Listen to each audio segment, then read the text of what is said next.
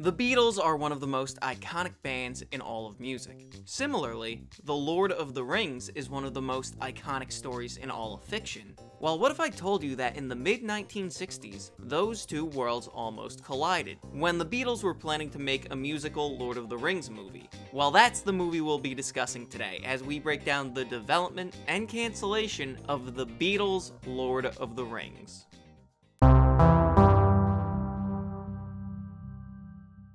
The year was 1965. The Beatles' second film, Help, would come out at the peak of Beatlemania. Sometime after the film's release, Dennis O'Dell, a film producer who had worked with the Beatles before, suggested that their next film should be an adaptation of the literary classic The Lord of the Rings, done as a musical. The band, who all happened to be fans of the books, loved the idea and decided to pursue the project. It was decided that Paul McCartney would play Frodo, Ringo Starr would play Sam, George Harrison would play Gandalf, and John Lennon would play Gollum. By this point, the band had released its first two films with the distribution company, United Artists, and they were under contract to make one more film with the company. As fate would have it, the executives at UA, separately from the Beatles, had become interested in making a Lord of the Rings movie. So when the band approached them with the idea of doing Lord of the Rings, not only did it fulfill the band's need of finishing out their contract, but it also gave the company an easy avenue to make Lord of the Rings. As a result, the pitch was met with approval.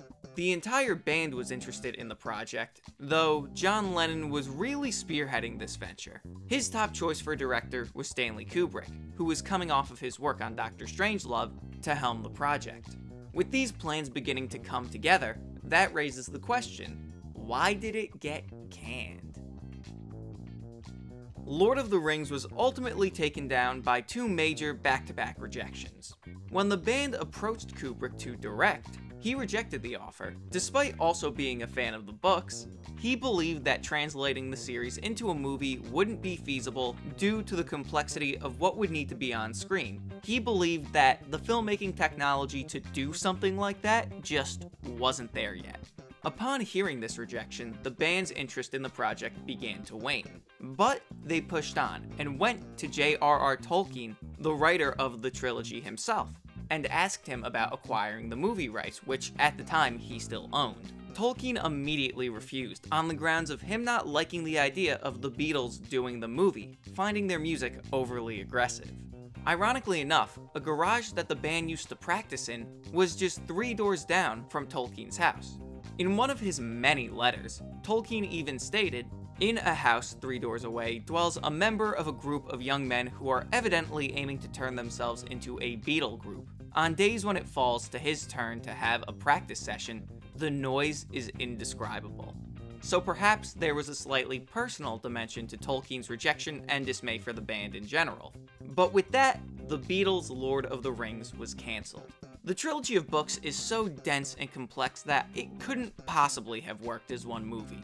Additionally, the more madcap and trippy energy associated with the Beatles and what they did on film, I don't believe that would have meshed well with the more naturalistic fantasy that's described in the books.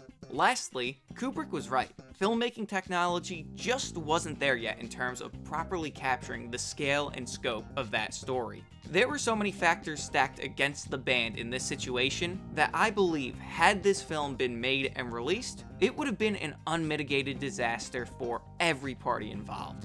Ultimately, I think that it was for the best, that this movie never saw the light of day. But that's the story of the Beatles' Lord of the Rings, and the end of yet another episode of Canned Goods. So until next time, thank you so much for watching, be good to each other, and stay Hemmas.